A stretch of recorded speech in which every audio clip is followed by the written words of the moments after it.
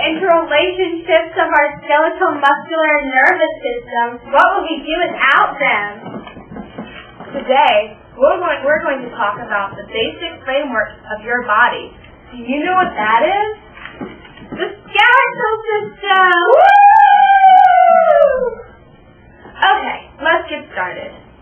Your system provides a living structure for your body. You couldn't do this without it.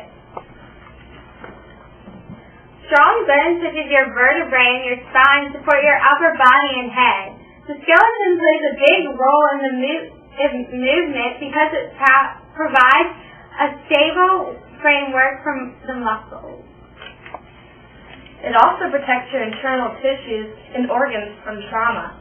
The skull, vertebrae, and ribs protect the brain, spinal cord, and your heart and lungs. Bones store minerals such as calcium and phosphorus, which are essential to the health of your skeleton. Bone marrow is a connective tissue in your bones that produces white and red blood cells. Hey, do you want to go up to the attic? Why? Because we might find some skeletal systems up there.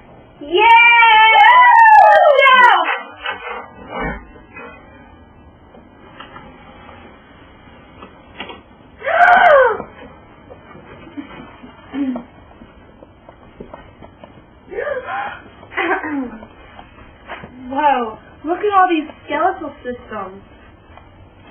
Did you know that the skeletal system consists of 206 bones that can be placed into two groups? Yeah. Did you know that the axial skeleton contains the 80 bones of the skull, spine, rib, vertebrae, and sternum? Um, Wait, I'm not done yet. The appendicular skeleton has the remaining 126 bones of the upper and lower limbs, shoulders, and hips. Got it? All bones have a hard outer layer, and under that layer is a spongy bone with many cavities that contain red bone marrow. excuse me? The four types of bones are long bones, um, these bones are long bones, short bones, flat bones, and irregular bones. The long bones are in your legs and arms. The short bones are almost equal in length and width.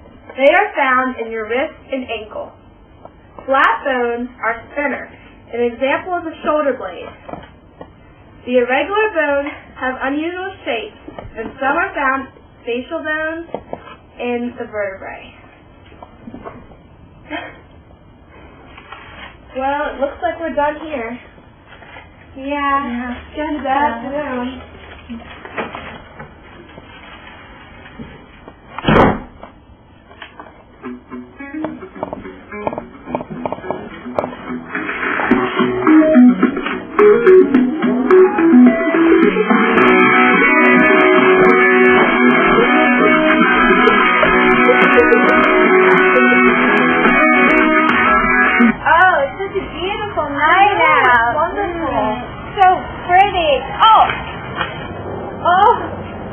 think I broke my nose cartilage. Did you know that cartilage is a strong, flexible, connective tissue?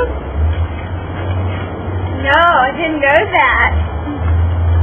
An embryo skeleton contains mostly cartilage that serves as an outline from which bone will form. This is called ossification. It is the process by which bone is formed, renewed, and repaired. Oh, my knee. My knee, I think I the cartilage. Are you sure you didn't dislocate your joints? Joints are the things that... Ah, I got this one. Joints are the point at which two bones meet. There are many different kinds of joints. The ball and socket, hinge joint, pivot joints, and elliptical joints. Both ligaments and tendons are essential for the formation of joints. Ligaments are bands of fibrous, slightly elastic, connective tissue that attaches bone to bone. Tendons are fibrous cords that attaches muscles to bone. Now let's go inside and look at the diagram. Woo!